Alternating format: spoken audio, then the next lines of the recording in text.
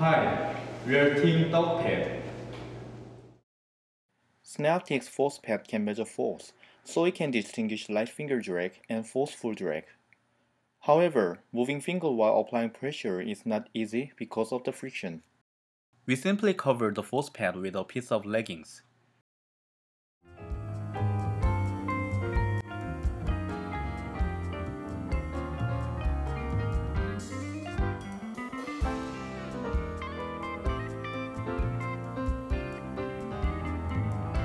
And now we can easily drag with pressure and also can get elastic feedback.